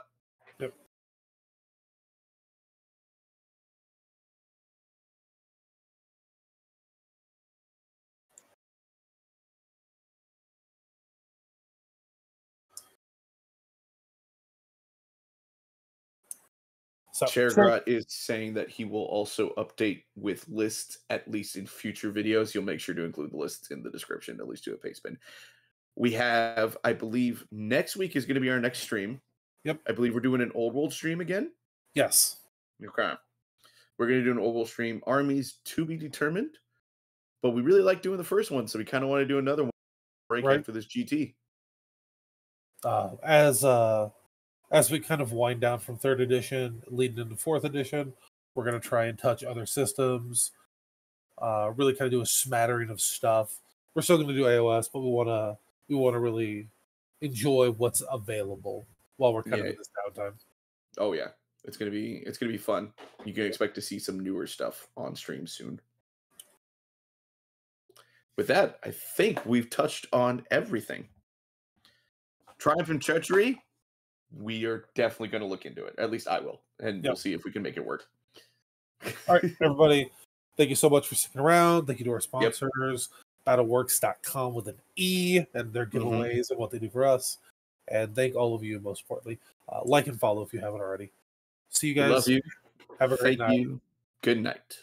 Good night.